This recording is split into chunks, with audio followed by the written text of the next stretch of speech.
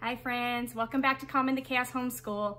So today I'm going to be doing a flip through of Apologia's Who is God. So I have the textbook, I have the student notebook, and I have the junior student notebook. So I'm going to be able to give you a look inside of all those components. So if that's something you're interested in seeing, stick around.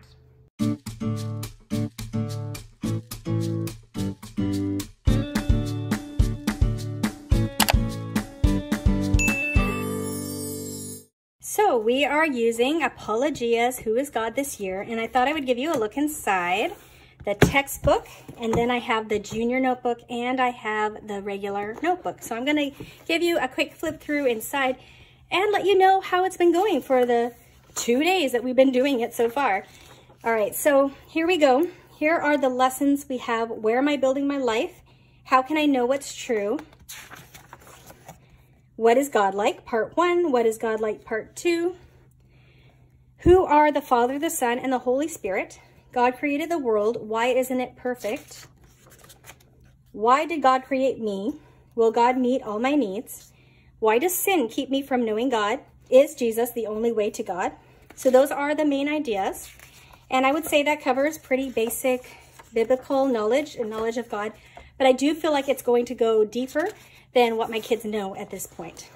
So we have here how to use this book. Talks about notebooking, the lesson structure, so what you can expect in each lesson. So they have all these different points. And a lesson plan.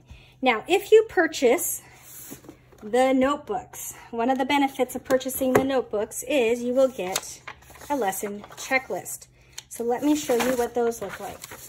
So I have the junior and I have the regular, and I'm just checking off as we go. We've done two lessons so far.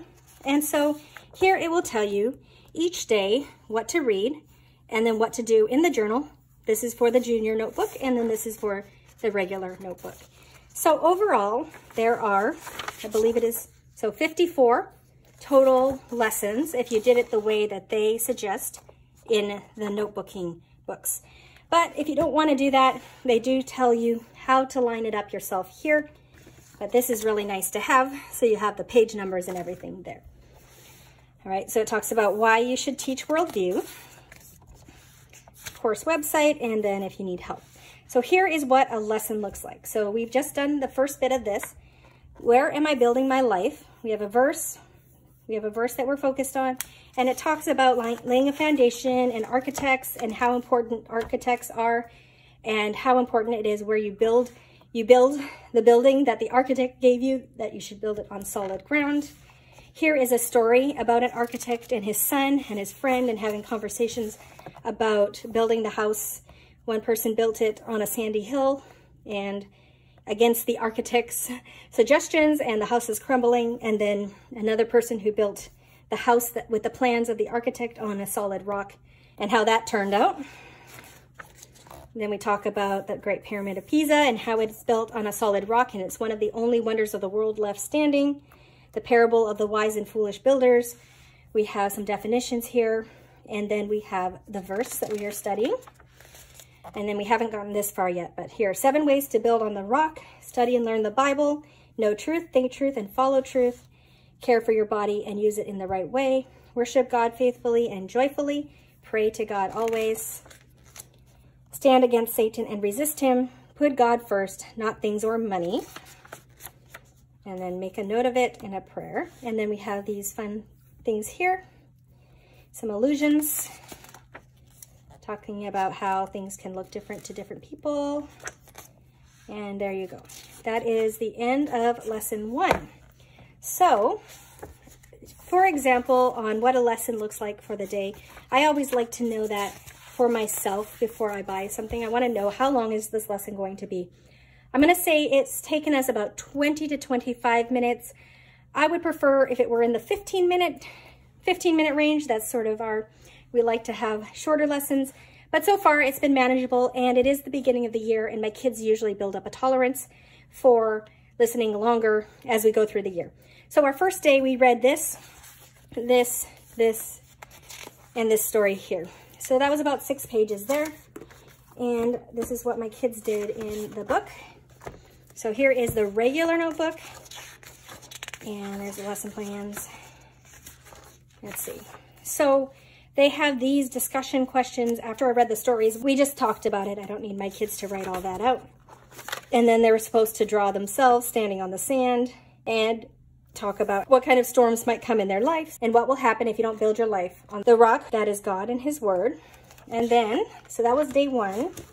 And this is what my boys did. For day one, they had a picture to color here, which they didn't. He added a few lines and the same activity there. And then day two, we read this and this. So it was a little bit shorter. The reading was a little bit shorter, just two pages there. And in the junior notebook, they had a fill in the blank here with these words. So very simple. And there was copy work. Who is, and it, looks like he missed the, who is the rock except our God? 2 Samuel 22, 32. So that was the junior notebook. So pretty simple little pages. And then for the regular notebook, we had a crossword puzzle that they could do. We have copy work. And, oh, I skipped something. And here they had words, words to know. So they copied these definitions in here too. So just a little bit extra for those older kids. All right, so I'm gonna quickly flip through a few pages here just so you can get a maybe better idea of what the rest of this book looks like. So it looks like they start with a story most times and more about illusions. Make a note of it. All right, so, and then just application, a prayer, things like that. So I have never used Apologia anything before.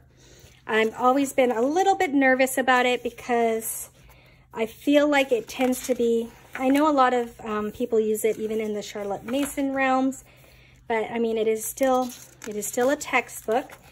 So I'm curious to see how this will go and we'll see if we can handle a tiny bit of textbooky stuff. But so far, the two lessons that we've done have been fine. Yeah. So it was a little bit longer on that first day because we are not used to, I'm not used to reading that much again. We get into the summer and I don't read as much and they're not used to listening as long. And so it's a little harder at the beginning. But yeah, so that is, that is what it looks like. It seems like the lessons are very structured as far as they follow the same format. And let's take a look a little bit more of the normal, or the normal, just the regular notebook. Let's take a look at the activities. So we have copy work, probably more drawing and writing, my prayer, a praise report, I spy, fish in the bowl, do you remember? Probably do that more discussion style. And then ways you can find out more, there's suggestions. And then the next lesson, more questions about the story, words to know, copy work, I can't believe it wasn't true. You can't believe everything you see. True, false, somewhere in the middle. So you get to read these things and find decide if it's true or false. That's kind of cool. Crossword puzzle. And making a mini book. All right, so that's interesting. I would say we probably won't use everything here, but we'll pick and choose and we'll do it how we, how we want. So that is the regular notebook. And then for the junior notebook, all right, so we have a crossword puzzle, mini book, more coloring, we have copy work. not sure if this is all part of a mini book or not. More coloring, suggested reading, fill in the blank. We have the same thing here, true, false. It's a little shorter, just one page instead of two. We have crossword puzzles. So there you go. I hope that helps. Before I get into this, I will leave a link in the description box below if you would like to check out Who is God or any other Apologia products. I'm an affiliate, so if you purchase using this link, you will be supporting my channel. So I hope that gave you a good idea of what it would be like to do Apologia's Who is God. If you like videos like this, please do give me a like and subscribe if you haven't already. I am going to be doing quite a few flip throughs and some reviews in the upcoming weeks, so please stick around if that's something you're interested in seeing. Thanks for coming today, and I hope to see you in my next video. Goodbye, everyone.